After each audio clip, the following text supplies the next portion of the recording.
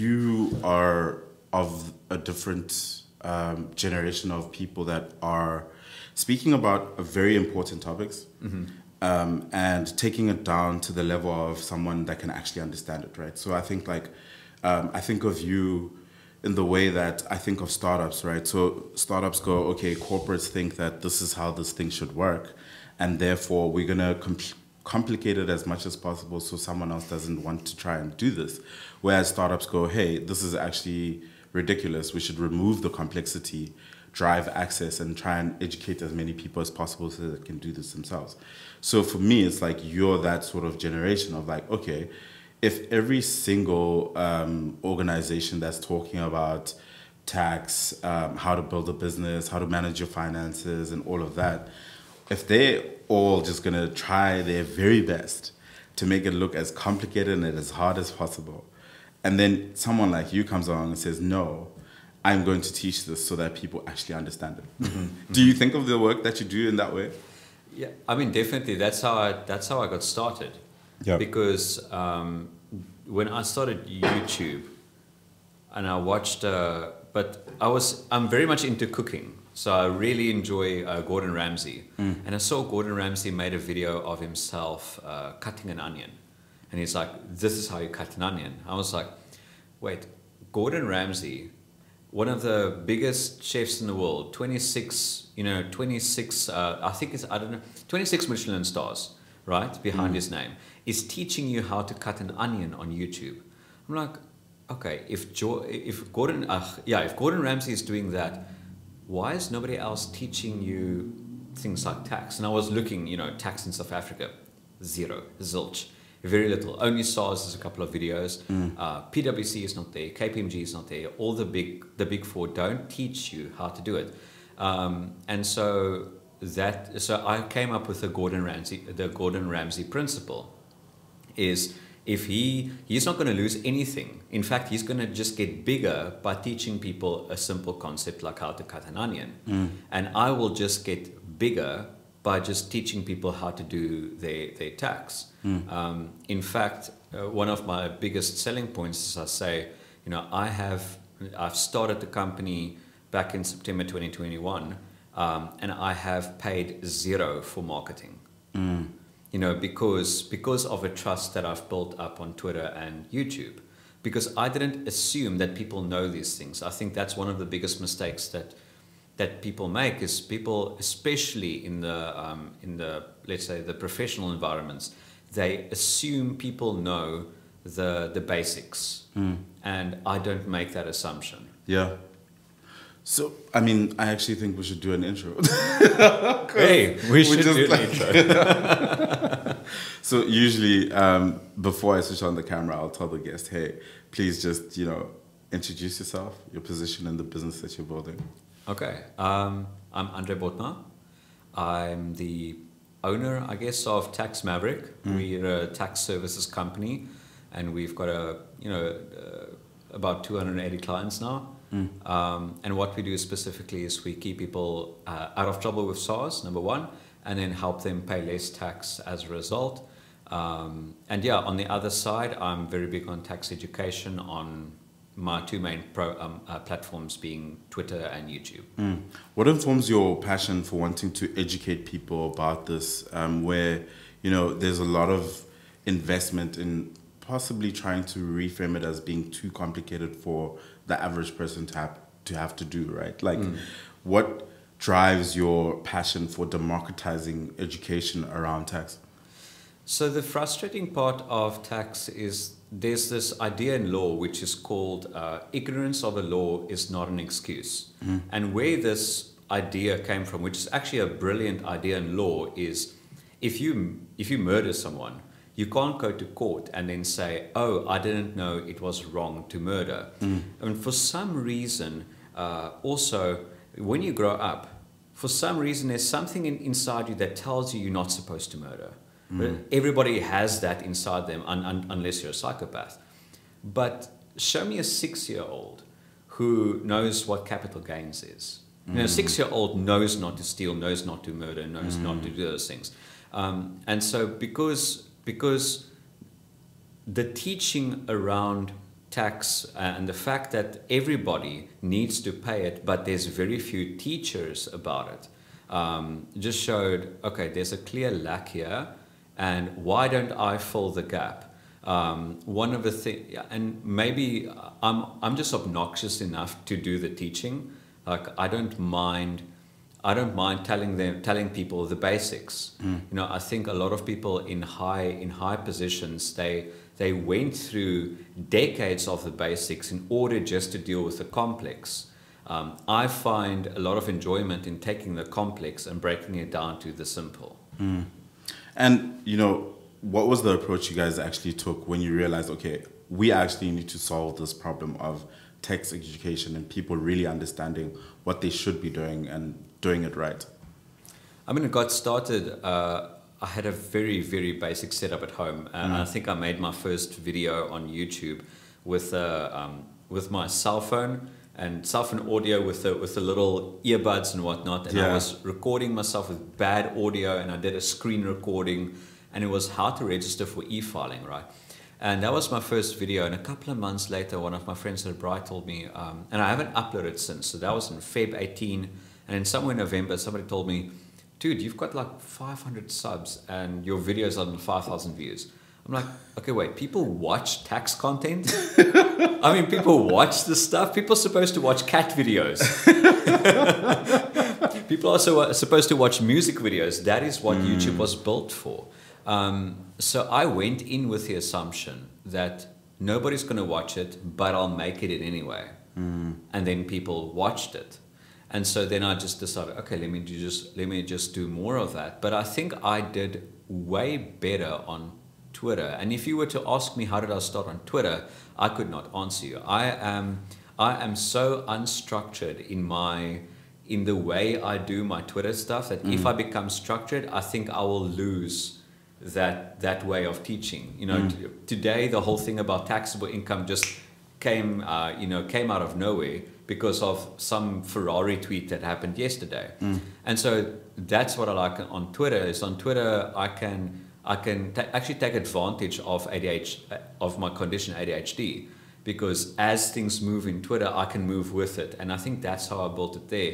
But YouTube I just saw there was a gap and I started with how-to videos, how to register for e-filing, how to update your banking details, how to get your refund from SARS, how to do your tax return. And yeah, that's that's how I got started. What were the things that you started to notice as you started growing, obviously, this you know base of content? Um, and we'll go into the business itself um, in a bit. But what were the things that you were learning as people started to give you this feedback and you started to see the channels grow and you know whether it was a Twitter platform as well? What were the things that you were learning from people as they started um, engaging with the content? I mean, I saw there was a there was a huge need for it because it seemed like almost everyone who engaged with the content felt like uh, they are the other asking me more questions or being very appreciative. I mean, my uh, like to dislike ratio, except for one video, is like ninety eight percent. On one video, it was seventy seven percent, and you don't do you want to know why? Why? the title of the video was "How to Pay No Tax." And and and I gave like seven meme reasons or meme ways of how to pay no tax. Things like emigrate, you should pass away because you don't, you shouldn't spend any money because then you can avoid paying VAT. You should you should not earn money Yeah. because then you can avoid paying income tax. And it was a meme video, but all my other videos, it seemed like people there's a there was a great need, um, and the content was good, but also despite despite my effort in breaking things down simply i still to this day get the basic questions. It means that uh, it means that one i'm not doing enough even though i'm already doing an effort. But it also means that there's a there's a there's a much bigger need in the basic education. And you can start at basic you know primary school you you can you know grade 7 in you in i imagine in grade 7 for accounting they should add vat in there or a very basic thing on income tax and start there.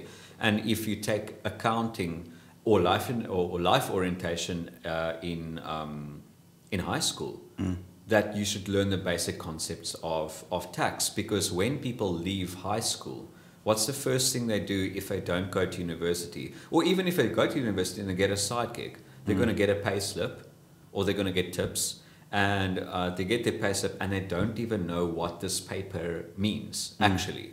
Yes, there's salary, but do you even know what pay as you earn means? Do you know what your F means? And that is assumed.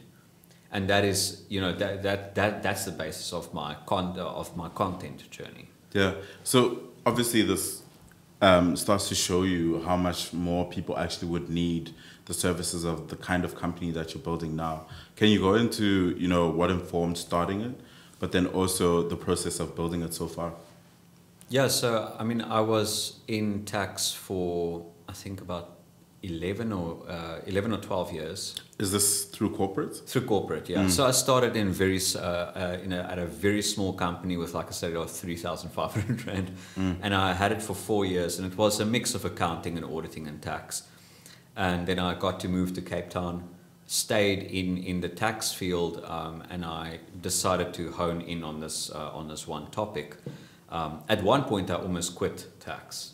Uh, I wanted to give up. I told my wife, "I'm, I'm tired. I want to go over to financial planning." And then she said, "Okay, just just just press on, just persevere." And then I did, and um, yeah. So we started the company. I decided to put out my first ad. It was in April 2021. I decided to post my first ad. I want to do people's returns. I can do it, you know, after work hours, people's returns, and do basic consulta- consulting after, or, you know, after work. And the, enough work came through that I earned about half my salary within, you know, in the months of, let's say, May and June and July. That my wife was comfortable to say, okay, clearly this thing works Yeah. um, I think you can pull the trigger and start the business. Um, and yeah, so that was that was the bridge between. Uh, I think one of the biggest mistakes I made before I started the business was I didn't uh, build up a, a big enough emergency fund. Um, so that uh, I think looking back, that's one of the things I would have changed. Um, but I don't regret the way I started. You know, put out the ad, see if there's a market fit, see if people want it, and yeah, people people definitely uh, grabbed at the at the opportunity.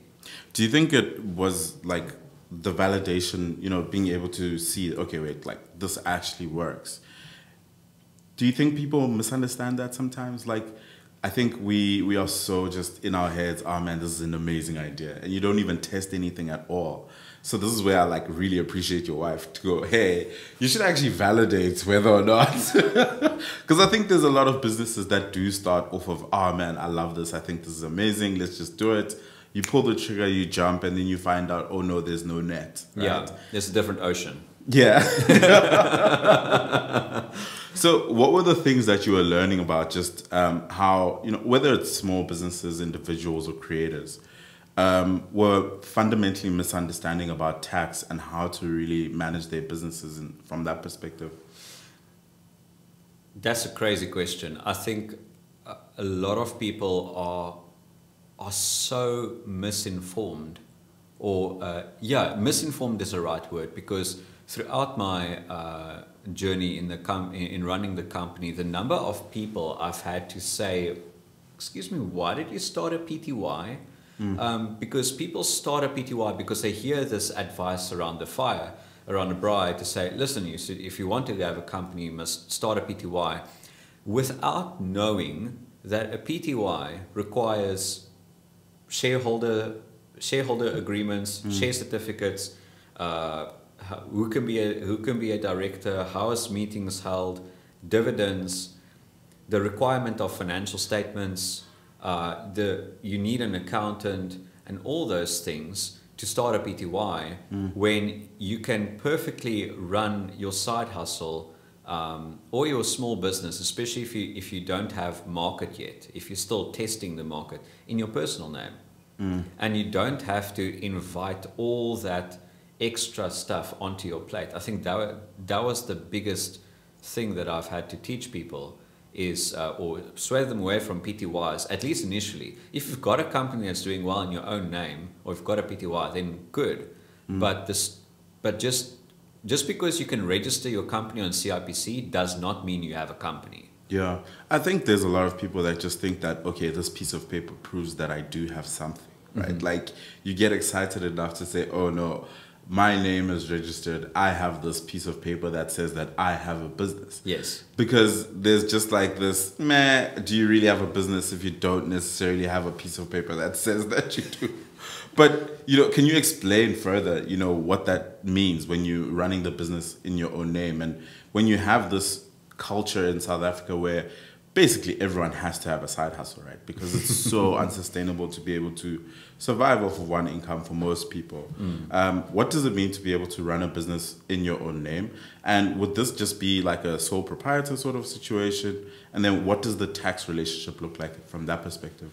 Yeah, so I think the the starting point, if if you have a side hustle or you or you generate other revenue streams that's aside from your salary, the the first starting point uh, that I would say is open a separate bank account. Mm. Everybody can do that, and that's one of the wisest decisions because then you are separating your personal finance from your business finance. Mm. It's it's one of the best move. That's also why PTYs work because when you have a PTY, you have to have a separate bank account for the PTY do that and apply that to your own company, um, to your own sole proprietorship, right? You filter all your income through that, uh, through that account, and all your business-related expenses would go through that account. And then, if it does well, you uh, you pay a bookkeeper, or or, or um, you use an online online platform like uh, like Xero or, or, or Sage uh, to do the to do the bookkeeping. Uh, I think Wave Apps is still popular. There's another one, Zoho Books. I think um, all those platforms where you can do your own bookkeeping from, and the taxes are quite quite simple. Now I must say a caveat. For some reason, SARS does not like individuals that trade. And so they are audited a bit more than companies, uh, especially on the expense side. So the moment you be, you become a bit big, I'd say 30k in income or more from your side hustle per month. If you're doing 30k or more per month, then I think it's better to to you know formalize it a bit more. Then there's more meat and potatoes to actually hire an, a, a professional accountant to help you out.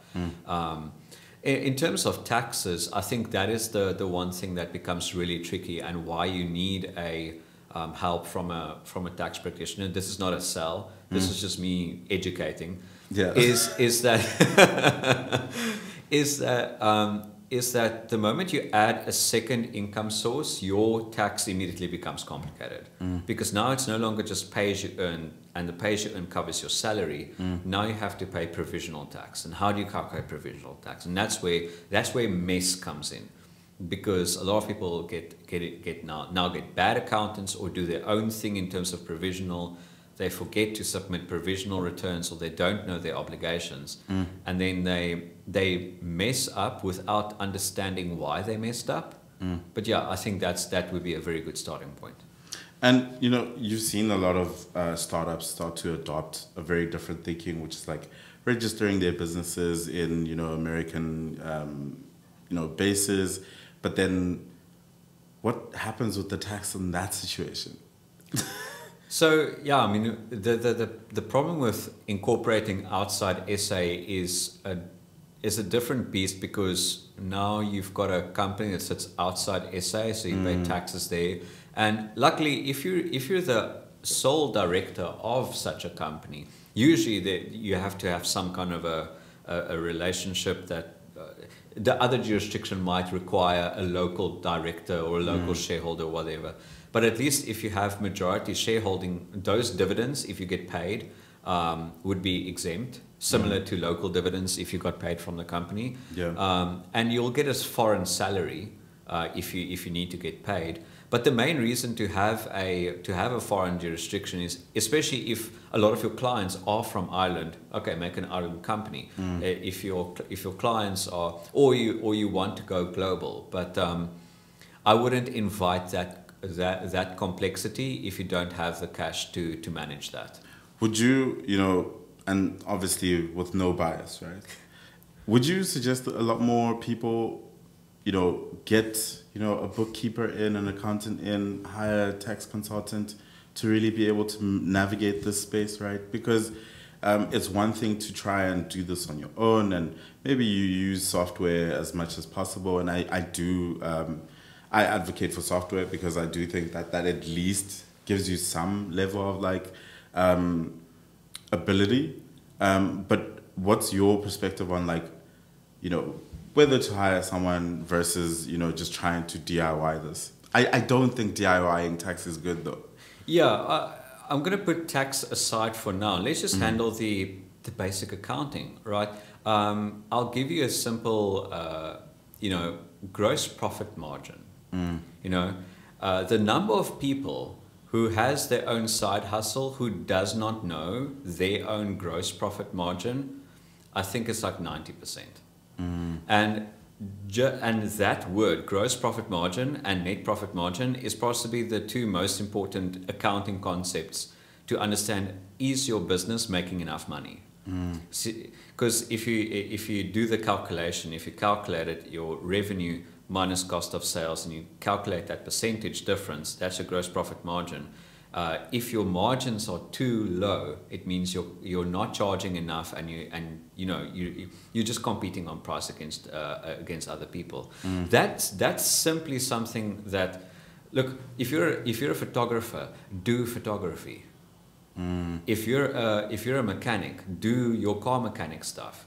Um, know your numbers though. So know, okay, what was the revenue for the month? What was the cost of sales? What is my salaries and wages? You know, what's my net? So know your numbers. But the person who's going to teach you your numbers or help you your numbers is that that bookkeeper. A bookkeeper is a great bookkeeper is one of the best investments a, a company can make, a small company. Mm. Uh, and you can use an external one as you become bigger, maybe now you need an internal one. Or maybe uh, you use the cloud software, but then you use an external accountant or, a, or outsourced CFO or a tax person. Sometimes a tax person can do all, the, all those hats. Mm. Um, but yeah, uh, do the thing that you're a specialist in. If, you, if you're good at, I don't know, selling houses, focus on that. Yeah. Uh, know your numbers, but focus on selling houses. Focus on doing makeup. So if I'm a you know small business and maybe a side hustler who hasn't been paying enough attention to these things, I don't have a bookkeeper yet. What would be the first step just to going? Okay, I actually need to get my shit in order. What does that look like? I mean, like like like I said when I, when you when you asked me what what would be a start for for a business, if they need to get their stuff in orders, I'd say, um, what is your bank what, what, how many bank accounts do you have? If you only have a personal bank, one bank account, and you do all your trading through there, your salary comes through there, that's a whole lot of mess. Mm. So the first thing I, I, would do, I would just jump in and say, create, please create a separate bank account, mm. and then trade from that bank account. So separate the business from personal, and uh, and then put that bank account on an on a cloud accounting software. That would be step two. So a separate bank account cloud accounting software. Step three is then know your tax, the, the, the deadlines. August provisional, Feb provisional, and um, at least watch some videos or, or read SARS guides or you know ask a tax person mm. um, how to navigate those provisional tax uh, times and uh, yeah, I mean, these things are less required when you're not VAT registered yet, mm. because that is also very critical. Um, I recently did a tweet, only 27% of, of companies and actively trading individuals uh, are uh, only 27% are actually VAT registered. So it, it means that a lot of people running businesses aren't doing a million rand or more in less than 12 months. Mm. But it doesn't mean that you can that that you can just you know put the put the the numbers in the spreadsheets by the wayside.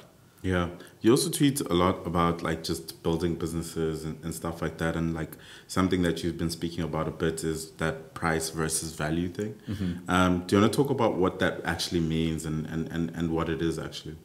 Yeah, so. Um, I mean, if you if you were to if you were to buy bread, or if you you know you've got a good idea of what the price of bread is. Mm. should be about 18 Rand, right? You can buy more expensive bread, maybe a Woolies bread at 44 Rand or whatever, but mm. you would expect, but that's a commodity. Mm. Right, so the way the way businesses can separate themselves is by decommoditizing their offering to people. So instead of saying, so let's say um, I'm, I'm going to use a, a gym as an example uh, because this is an example that, that, that I've learned from a, from, a, from a mentor that I like to watch a lot, Alex Hormozi. And he did this with gyms. A lot of gyms copy the Virgin Active model. The Virgin Active model, it's uh, 200 Rand or 500 Rand a month and that's it. There's no there's no special gimmicks or whatever. And the way he changed that that framework and to say, okay, how can we de- decommoditize that? Because that's that's what everybody, all the gyms do. Instead, he sold he would sell a six week fitness challenge for like I don't know uh, a thousand dollars, a lot of money. Okay, but it sells like hotcakes because you can't buy it anywhere else. Um, and so that is that's one way to, to separate yourself where, where you decommoditize yourself, where you offer something to the market that you really can't buy somewhere else. Um, I'll give a I'll give I'll give the ticket away in my industry. Um, and this is this is how uh, management accountants separate themselves from people who just do financial statements, right? If you were to shop around to do financial statements and you're a fairly, fairly decent company, you might be quoted, okay, we'll quote you 25k to do a set of financials. So you can buy 25, uh, you can buy financial statements for somewhere between 15 to 25k, okay? But a smart management accountant will say, okay, we'll help you manage your taxes, we'll help you check, look at your budgeting, we'll do all those things. Included is uh, included in there is your um, is the financial statements. We'll look at the payroll stuff and and as well. They don't give you all the detail. All they tell you is that gonna, that's going to be six and a half a month. So suddenly you go from selling financial statements for 25k a year to actually selling 84,000 rand a year on a bit a much better offering. Mm. And that's that's the difference between a commodity you can shop around for AFS prices versus a, a package deal which you can't even Google. Mm. You know, because you don't know how much this package would be elsewhere.